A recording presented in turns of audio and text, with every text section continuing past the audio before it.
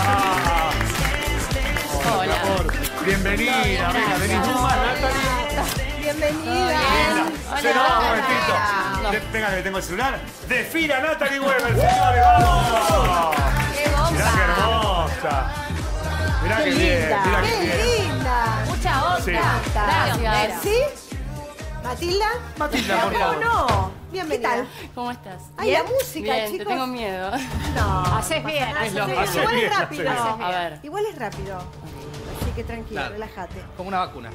Hay que tener unas piernas divinas para poder usar un ciclista como lo estás usando y una camisa gigante. La verdad que me parece mucha onda. Me encantan las botitas, me encanta el peinado. No me divierte mucho las uñas porque, viste, eh, Lo que verde con que- colorado de arbolito de Lo que Navidad. pasa es que ayer bailé el cuarteto. Las tengo, me quedaron del Ah, cuarteto. te quedaron del cuarteto. Ah. Claro, son del Pero cuarteto. la se verdad bañó, que me parece, me, me encanta, me gusta, me parece Ay. muy canchero. ¿Quién se lo puede poner? ¿Cuántas las puede poner? botas, las botas, estas, las botas Nadie, medias. ella. ¿Qué son estas botas medias? Sí, botas medias, me encanta, última moda, me encanta. Aparte, eh, un concepto Pará, que quiero mostrar a la La señora que no ve. Es- Es una media, es como señora, una mire, media, es una ahí media. está. ¿Ves lo que es la tela? en invierno eran largas hasta acá arriba, eran las No, no, bucaneras, no, pijamas, no, no, no, como también medias. en invierno también eran así y las pueden usar en verano porque se usan también en verano las botas. Vestidito mira. cortas y eso vale. Cortas y sí, perfecto. Vale, perfecto. Así que me encanta. Le voy a poner, tengo que descontar unos puntos por el por Tiene los razón, trabajo. tiene razón. ¿Qué va a ser? Dos puntos voy a descontar. Bien. Sí, le voy a Qué poner malísimo. un 8 le voy a poner.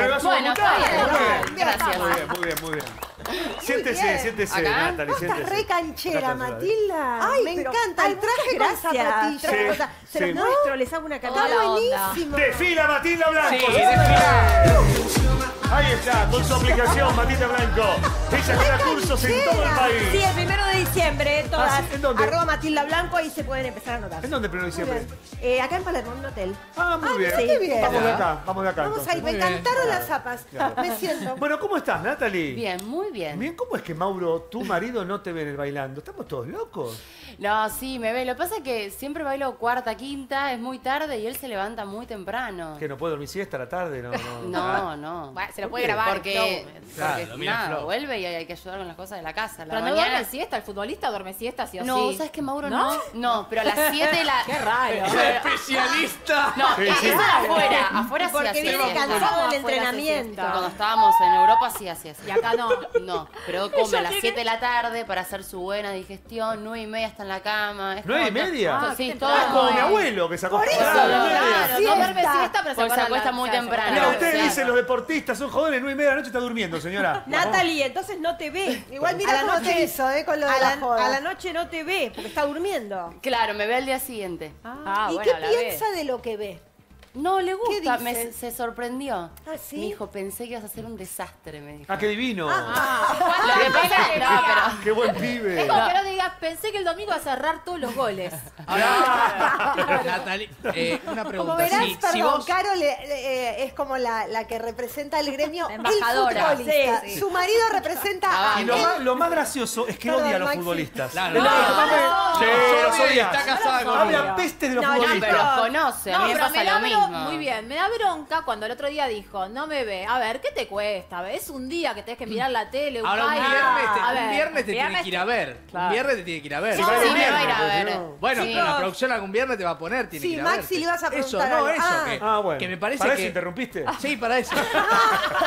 no, pero eh, no, hay, no hay manera que te apoye personalmente, digamos. Sí, sí, sí. Bueno, ahora está como en un momento medio, está en la semifinal de la Libertadores, es medio... Déjalo no que sé. se quede en la casa. No sé si me gustaría que. Claro. se exponga ahora, No, pero no cuando termine, sí, sí, el, el otro día lo hablamos. la teoría sí. que además cuando No, se no exponen o los expones, No, no lo lleves. Agarra el gustito por la Llegó. cámara y no, no sería muy productivo.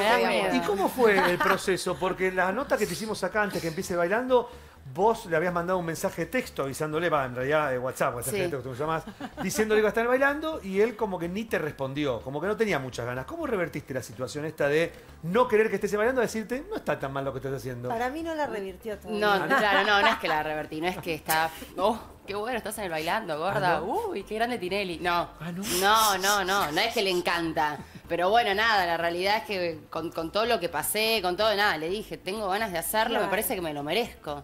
Aunque O no sea- hayas pasado por nada, te lo mereces. Bueno, Claro. pero estuve nueve años acompañándolo, ¿entendés? Me parece que yo te acompañé, está un bueno que él también me Y acompañe. delicado. estaría bueno que él te haya acompañado también de, otra- de festejar por tu Sí, trabajo. Pero ¿qué sí. te- no, no bueno. entiendo la mentalidad del futbolista en este caso. ¿Qué tiene miedo que porque aparezcas en tele eh, tengas más pretendientes y te, lo- te, te roben, se lo roben a él, eh, que te roben a vos? No entiendo que... O que que- esté ocupada en otra cosa, ¿no? Yo creo que es un bueno poco, que esté yo creo que es ocupado, un ¿no? poco eso, ¿no? Estábamos, eh, estábamos, porque a mí también me pasó, lo mismo, estábamos muy acostumbrados a estar todo el tiempo juntos, los hijos, ¿viste? O sea, prácticamente yo no necesitaba ni niñera porque estaba con mis hijos 24 horas, de repente ahora yo salgo a trabajar, bueno, a ver quién va a buscar en el colegio, quién se queda con Rocco, o sea, es como que, ¿viste? Fueron nueve años que, que hicimos esa Sí, vida. Y también, digamos, como mujer, cuando acompañas a tu marido, dependés de él para, para una persona que por ahí es insegura, saber que tu mujer depende de vos, que está viviendo lejos y tenés mucho más asegurado Sí. el terreno que estando en un país donde vos ganas tu plata, tenés tu trabajo, Totalmente, ¿no?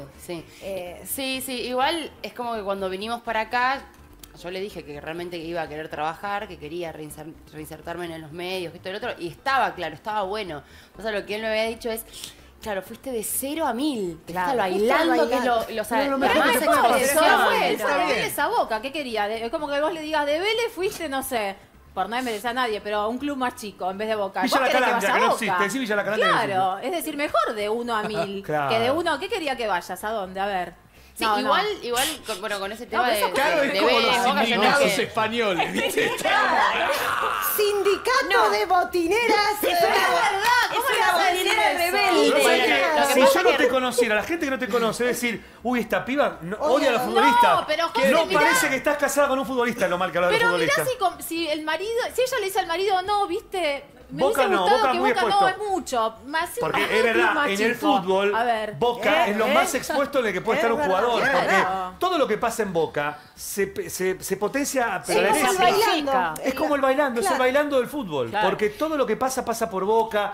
Una pavadita que pasa en otro club no tiene trascendencia. Ahora, lo mismo pasa en Boca y. Pero Ahora Natalie, no. Natalie, Sí, tal él, cual. él que tiene miedo de que se hable más, en general los futbolistas, que se hable más de vos que de él, No, o es no, medio no. un complejo de inferioridad que tienen atrás y dicen, bueno, a ver, se está destacando más, yo me destaco menos, No no, creo que sé. sea. No, no, no, yo creo que Sí. eh, pa- pasaba, porque o sea, ahora está todo bien, pasaba más por un tema de, de que tanto él como yo no estamos acostumbrados a tanta exposición. O sea, somos Claro. un Bueno, él tuvo una más gran exposición hace poco también. Bueno, sí, pero no, Pero no por- buscada. Claro, no No. No es No que buscada. él lo generó queriendo Mm, tener que vivían esa... afuera tranquilo, con la familia, los chicos, una Tal vida cual. mucho más perfil Pero bajo. vos en algún punto lo que él te, te dice, ¿no? De esto de cero a mil, ¿lo entendés? O, ah, ¿lo entendés? Sí. Y lo- no lo compartís, pero lo entendés. Lo entiendo, pero lo hago igual. Claro. Muy bien, Perfecto. muy bien. Muy bien. Bien. Vamos a ver cómo bailó, porque ayer bailó cu- cuarteto. A ver cómo bailó Natalie Weber ayer el cuarteto de Showmatch. A ver, Pasaba viernes pasado, ¿eh? no pasaba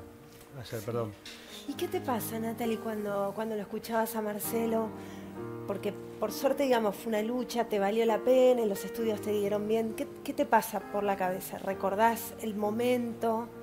Yo creo que en ese momento, mm, no, o sea, no me quedó otra opción que, que- que ser fuerte. Y, y lo que me pasó con Marcelo es que nada, me doy cuenta por lo que realmente pasé cuando otro me reconoce la lucha. Claro. ¿Me entendés? Claro. Entonces lo escuchaba ahí, a él, que obviamente además de ser un grosso, ¿entendés? Me estaba como halagando, ¿entendés? Con todo lo que yo pasé. Y que en ese momento no me ponía a pensar, che, tengo cáncer, che, Que estoy le pusiste luchando, el che". cuerpo y o sea, fuiste para adelante. Claro, fui, o sea, Sí. lo hice sin pensarlo. Entonces me pasa de, de que eso, cuando otro me reconoce, ¿entendés? La lucha, eso, nada, me quebré porque además no me lo esperé. ¿Nunca te caíste en esa lucha? ¿Nunca...? No. Los ¿Nunca 10 prime- flaqueaste? no, los 10 primeros días y no salí de mi casa eh, y no quería ver a nadie, pero porque me da miedo el ojo del otro. O sea, por ejemplo, no sé, mi mejor amiga, ¿no? Es la madre de mi hijo, todo, de verla y que ella me llore. Y yo digo, wow, está llorando porque tiene miedo que yo me muera. Entonces, es- ese fue los primeros 10 días, no podía ver a nadie más que a mi mamá y, y conectarme mucho con lo que eran mis hijos ¿Vos tuviste miedo de morirte? lo sigo teniendo. Para mí es una enfermedad que, que- que nunca cantás victoria. Cada control que vas es, es miedo de que te digan, che, bueno, hay que punzar de nuevo. Además, yo no- creo, creo que yo esto no lo había contado, pero a mí me vino dos veces. Si Yo el primer estudio en el después del 2000 tratamiento le volvió a dar mal. Claro, ¿no? me volvió a dar mal, entonces ahí me hacen la mastectomía y me, y me vacían, ¿entendés?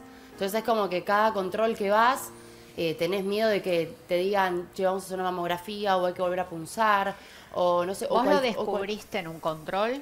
Porque No. es importante lo que decís ahí en el, en el en tu. Instagram. Sí. ¿no? Eh. Soy joven, jamás creí que iba a pasarme, soy sana. Hasta que un día No lo sos más. no lo sos más. No, eh, a mí me pasó que en junio de 2016 perdí un embarazo y como no lo eliminaba, me tuvieron que hacer un legrado. Entonces, viste que ahí quedás como 40 días, ¿entendés? Que tenés que ir al ginecólogo. Y tres días antes de ir al ginecólogo, bañándome, me detecté una bolita. Entonces, cuando fui, dije, ay, mira, doctor, me dijo, mira, yo creo que esto es algo hormonal porque si bien vos perdiste un embarazo, tus mamás estaban preparando. Claro. Claro. Eh, pero vamos, vamos a hacer una ecografía y una mamografía. Y bueno, y ahí salió. Ah. O sea, Claro. mirá lo importante que es el, el, digamos, tacto, sí, el, sí, sí. el Sí, el el autoexamen. Sí, el autoexamen, sí, sí. Sí. ¿Cómo Pero fue bueno,